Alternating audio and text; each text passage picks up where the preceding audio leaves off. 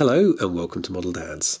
Thanks to Wendy at Westwind Productions, we continue our World War II review week with a look at Forged in Battle's 15mm SDKFZ 251C command set. Forged in Battle's 15mm SDKFZ 251C command set consists of four resin half tracks with white metal parts for the crew, MGs, and radio antenna, and comes in at £19.50 or around 31 US dollars. That's about £4.90 or 780 US dollars per armoured fighting vehicle.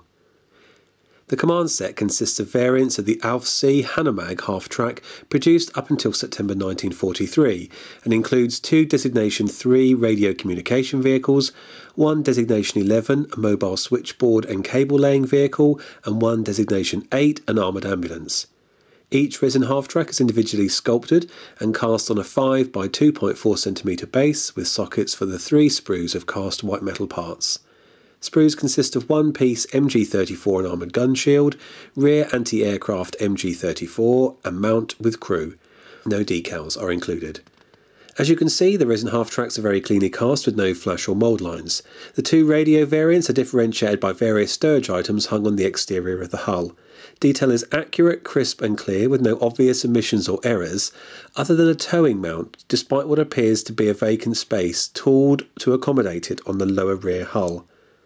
Frontal armour, armoured air inlets, relocated stowage bins, and modified rear mudguards are all accurately modelled. By contrast, the white metal parts have quite a lot of easily removable flash and some quite apparent mould lines on some of the crew. Clean up and build was straightforward and the whole lot only took about 30 minutes. It may be just a sample sent, but the white metal parts are a little brittle, so take care when bending the aerial into shape or fixing the rear MG. Warming the metal on a radiator helped, but I was still able to break one of my MG34s on the fragile rear mount. Fortunately, there was a replacement, so it's no big deal. Oh!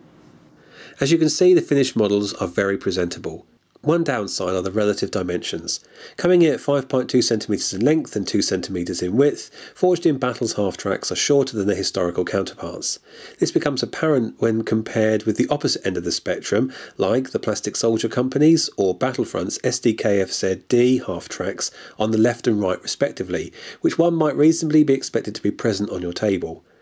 Compatibility and the cast in base aside, which may or may not be an issue for you, I'm not going to comment anymore, the crews sit well with Battlefront's range, and I would go so far as to say that the relative figures are interchangeable.